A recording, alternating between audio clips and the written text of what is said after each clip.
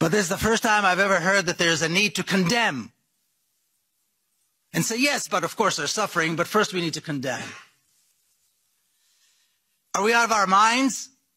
Condemning the resistance of people who are being oppressed and killed, subjected to genocide for 75 years? Are we out of our minds? Are we out of our minds? Are we outside of our minds?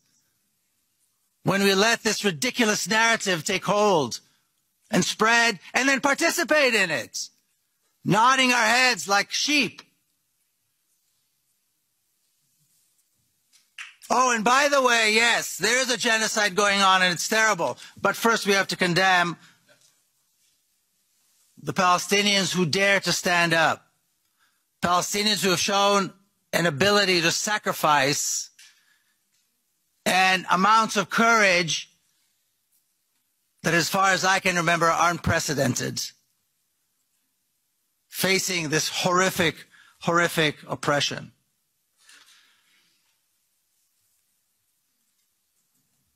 But what are we really talking about?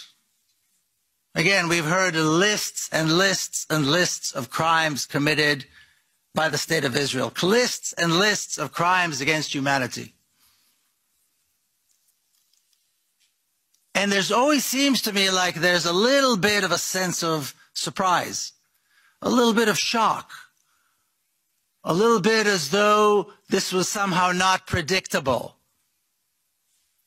What we are seeing now in Gaza was not only predictable, it was preventable. And we did not prevent it. The previous massacre in Gaza was predictable too. And that was not prevented. And we can go on and on and on and on back 75 years. Because what could possibly be expected from an apartheid regime established after a massive campaign open, massive campaign of ethnic cleansing, massacres, and the beginning of a genocide that is still going on today. What could possibly be expected? That was the founding moment of the state of Israel. Close to a million people forced out of their land. God knows how many were massacred. And that was the beginning. That was 19, that was 1948. So now we're shocked. All these lists and lists and lists and lists. There's nothing new about them. Except this time the numbers are higher. This time the numbers are, you know, even by Israeli standards, it is shocking. But this was predictable and this was preventable. And every time something happens, we rise, we protest, we demand, and we forget.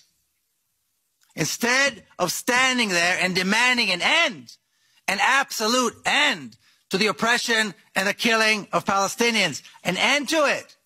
Not a ceasefire to it, an end to it. A political solution that will guarantee the lives, the security, the safety of Palestinians. That has never been discussed. I don't recall it ever being discussed. That guarantees need to be put in place. Guarantees need to be put in place for the life and security and the safety of Palestinians because Palestinians have been living in a state of terror for 75 years. Not just now, but for 75 years living in a state of terror, whether they're in the West Bank, whether they're in the Gaza Strip, whether they're citizens of the state of Israel or so-called citizens. They have been living in a state of terror, and they still do today. Granted, the level of terror has increased since October the 7th.